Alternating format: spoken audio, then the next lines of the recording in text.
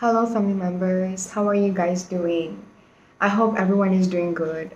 I want to talk about a very, very intimate subject today, and it is about. Um, we'll try to deal with certain topics, but I want to um, talk about, well, God being God and His supremacy.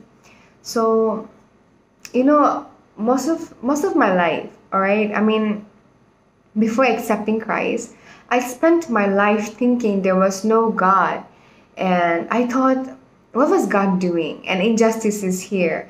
But now, as I'm growing more into God, I come to realize that what God does is right. A lot of us may think that um, God is wrong. We may think that even if He's here, He's not acting, He's not uh, giving us justice. But that's never the truth. So, see the Bible, for example, in the book of Deuteronomy, Moses tells the people, I give before you blessing and death. Choose life for yourself. He says, I give you curse and uh, life and death. So choose life. He says like that. So today, God has set before us what is good and what is bad. He told Adam and Eve to go and subdue. God's will was good. He, he wanted the people to flourish. He blessed the earth. But sin came in. God never desired that people should die. All right? God never wanted people to die. God never wanted bad for the people, but it's people who choose to disobey. And so God had to send them out of the garden because He knew that now they could no longer be in the garden. And guess what? All right, now you may think that He is wrong, He, he is being unjust. But let's look what what uh, what happens later on. So what happens later is that we find out that Cain kills his brother. Jealousy First, it only started with just eating of the fruit. And you may think, why does God get so freak, freaked out in just eating a fruit, right? But no, that's not it. You just, today, each drops makes an ocean. Today they ate the fruit, tomorrow they'll do something worse. And that's what happened. Cain killed his brother out of jealousy. And imagine how much was God's heart hurt, right? He was so much in pain and he was hurt. So it is people's own desire, it's our self will that has brought sickness, death, and then what does the Bible say? The wages of sin is death, right? So now, all right, you and I, we deserve death, we deserve the cross, but there is someone who, through his own will, he gave us his his clean self, his clean body, just so you and I would live. And Jesus did that. He gave him up, himself up freely as a living sacrifice. He came down to earth so you and I could go to heaven. It's like he made a free pass for us to go to heaven. And today, yes, of course, there is sickness, but God gave us the authority. He said, if you if you lay on hands on the sick, the sick shall be healed. Yeah, have you ever heard this anyone uh, anywhere else apart from God? No.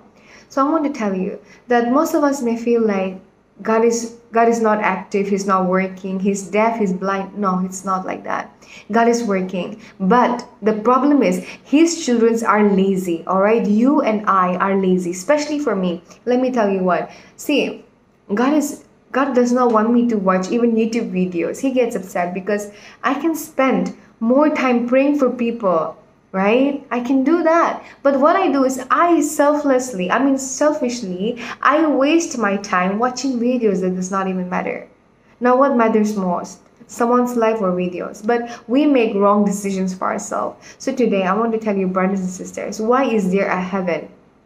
God, God has a plan for heaven because there is sin, right? There is so much of sickness and pain. This world is broken, all right? See, I want to tell you why why is uh, hell considered so bad. I'll tell you why according to me because there is no presence of god. There is there is so much of torment in, in there. How come there is torment in there? All right let me explain. The bible says god is love. That means where there is no god there is no love and there is only torment. And so the most worst punishment that the angels got was they were sent down to hell now get this clear they were sent down to hell that means they were separated from god all right but god didn't let that happen to you and me when adam and eve through their sin were separated he went out and he called through whom Uh, Seth, remember Seth?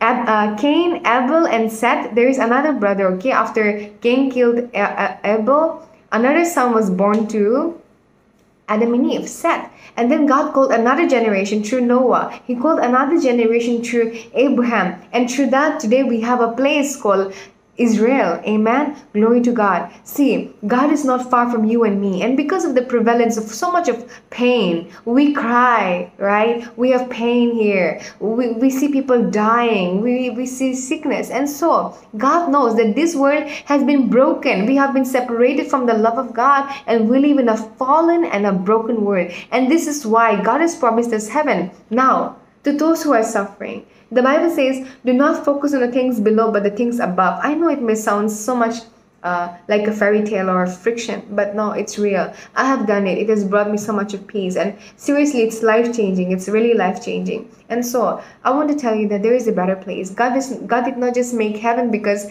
He wants you and me as a slave there. Not like that. All right. See, we don't deserve that but god says he would crown us with the crown of life he is good god and he is not a, a very bossy or like that kind of person. No, of course he is god he is the creator of all earth and he is loving he's kind and and so he brought us heaven in heaven there is no tears. There is no suffering there is no sorrow there is no death there is no poverty there is no no nothing. You would never never be sad over there. And so for this very purpose god has created heaven. Now you get to decide where you want to go. So here's an invitation for you and for me to choose life for ourselves today. So i urge you brothers and sisters to choose life for yourself today.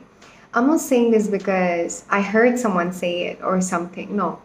I want to tell you that these are the things that I found out through the Spirit of God.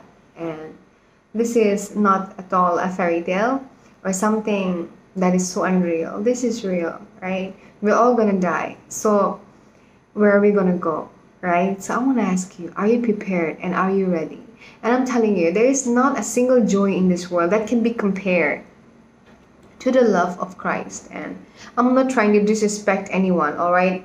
Purely not trying to disrespect or offend anyone, but you know we have so many celebrity crush and everything. I know the whole world is fooling around all this right? We all have a celebrity crush and something. And then you follow all the celebrities. Now celebrities are super rich they're famous they're known worldwide right? But why is it that they end up committing themselves? I i won't mention that person's name but a very very popular celebrity posted this and she said i wished i was close to happiness right? That's what they said now they have money, they have branded clothes, they have everything that a human would desire or dream about, right? They go to places, they have, yeah, they're, you know. But why is it that poor people who are in God, for example, the blind beggar, a blind beggar, isn't it amazing? A blind person screaming to Jesus that, Son of David, Save me. I am a poor, blind beggarman. I've never been freed. Free me. And he is freed. And so I want to tell you the joy of this earth that's just temporary can never be compared to the love of God, right? We all go to birthday parties and marriages. It's so beautifully decorated. Best food has been presented in the table as a buffet. But the party is over. You go, you go back home, right? All the good days come to an end. But with God, the Bible says His mercy is renewed every morning. Yeah?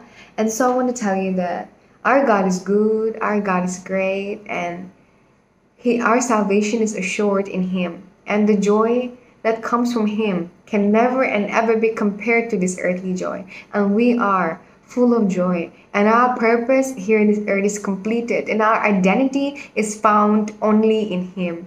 God be glorified. Choose to this day whom you will serve, either our God or your rebellious way. God bless you.